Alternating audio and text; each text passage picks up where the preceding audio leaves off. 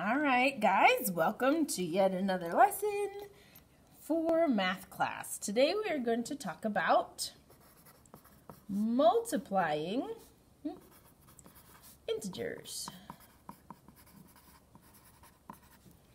Okay, now, uh, up until this point we've been doing adding and subtracting, and so to review our adding rules, to add the same sign. Add like normal and keep the sign.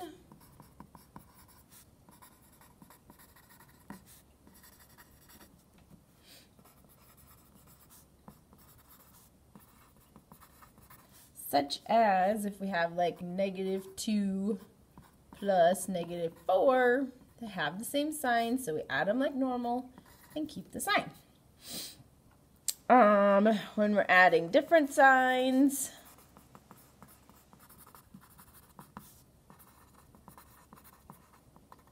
you find the difference.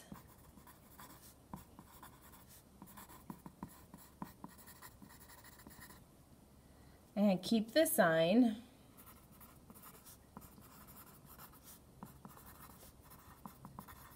There's more of that. There's more of.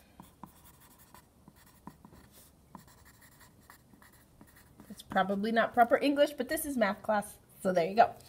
And to practice that, we could have negative 7 plus 3. They have different signs, so the difference is 4. And we have more negatives, so it's negative 4. And then what we learned yesterday, subtracting. We rewrite as adding the additive inverse, or you can say, we rewrite as adding the opposite sign. So we could have 7 minus 9 is the same thing as 7 plus negative 9. If we want to, call that winky face. Or we could have 6 minus negative 4. And there's our squinty face. So that turns into 6 plus 4. That's 10 up here. That's negative 2. All right, now, switching to multiplication and division, just like with fractions, the rules are totally different for multiplication and division than they are for addition. So don't get them confused. Those go in one box, and the rules for multiplying and dividing go in a totally separate box. Okay? Whole new game. So the rules for multiplying, I'm just going to write out Okay, there's four possible combinations. So if we have a positive, times a positive. Then, I mean, this is our normal multiplication, so that gives us a positive. Okay, we've got a negative times a negative also gives us a positive. Okay, so notice this is different than up there. Different, totally different rules. Okay, so they match in signs, then they end up being positive. If they have one of each, so if we have a negative times a positive, the answer is negative. And if we have a positive times a negative, the answer is negative. Okay, so now there's actually just a general rule to help you know, or if you have like a lot of numbers you're multiplying together, um, the general rule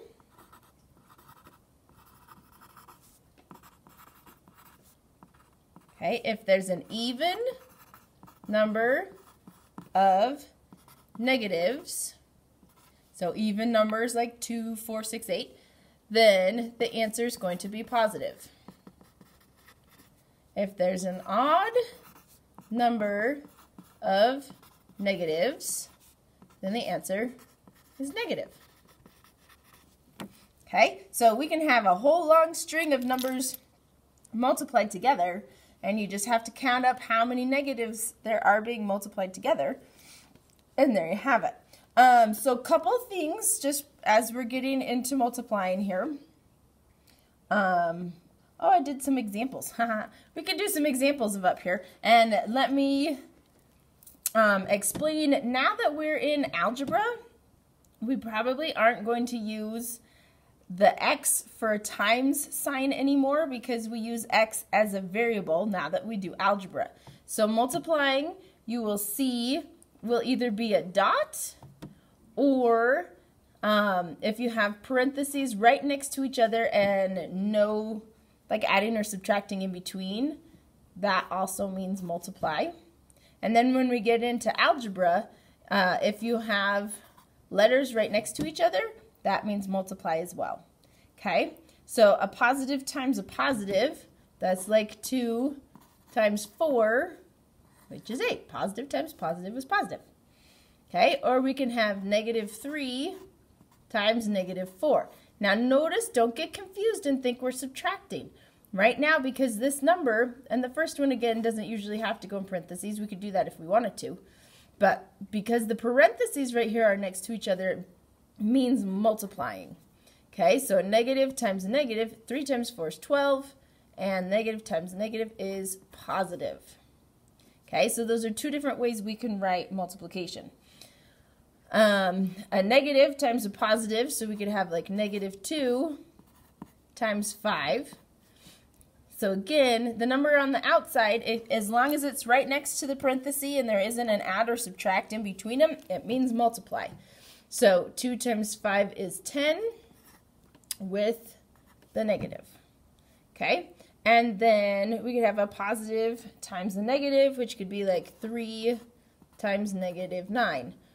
Okay? And again, the negative is attached to the 9. It's not a subtract the operation we're doing right now is multiplying. We have one negative, so it's going to be negative, and 3 times 9 is 27.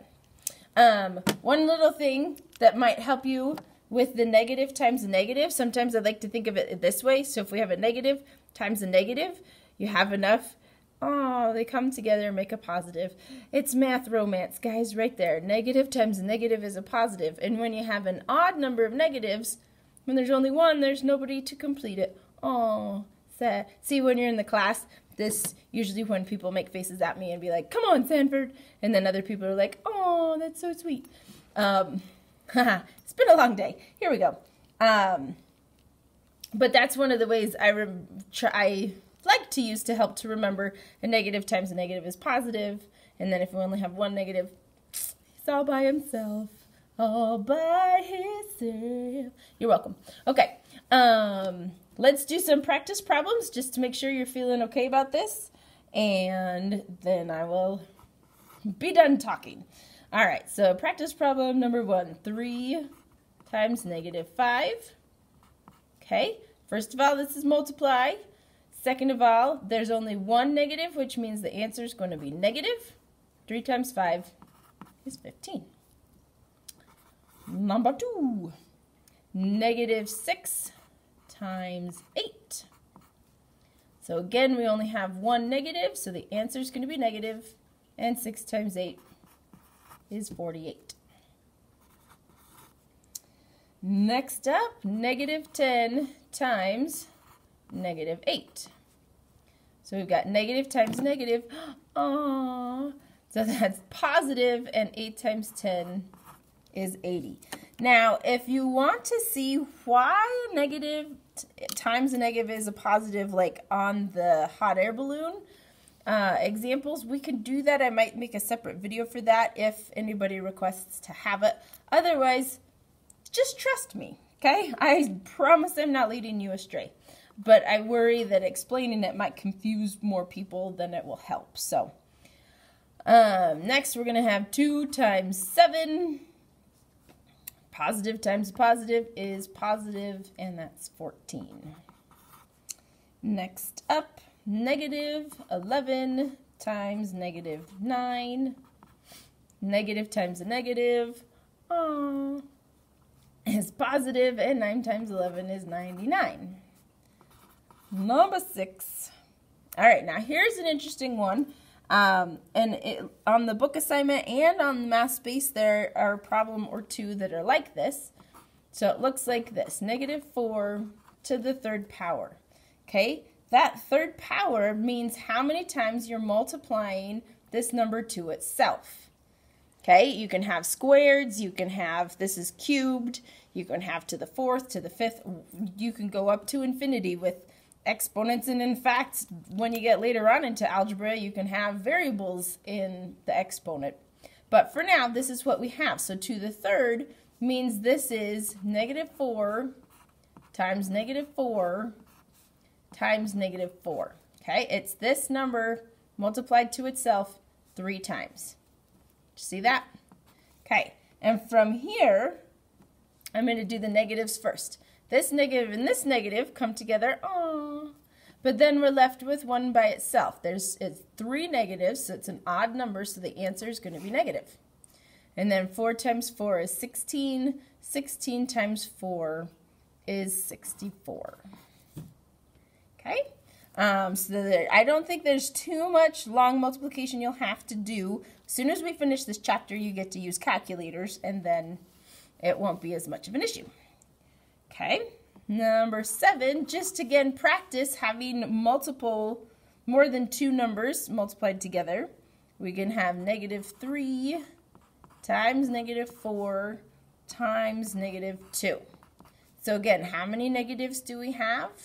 We've got 3. That's an odd number, which means our answer is going to be negative. 3 times 4 is 12. 12 times 2 is 24. All right, now here's here's an interesting one. The numbers aren't going to be hard. This is all about figuring out if it the answer is going to be positive or negative. Do do do do do. Do do do. Mm -hmm. I don't know even where we are. We'll add in another one of those. Okay. So we've got how many negatives do we have going on here? One, two, three, four, five, six, seven. Okay, so seven is an odd number. That means the answer, because one times one times one times one times one times one is always just going to give us one.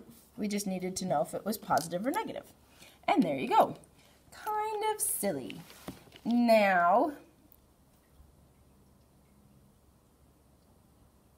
Um, on for the story problems, if you guys want any help with the story problems, um, the you know just let me know. I will help.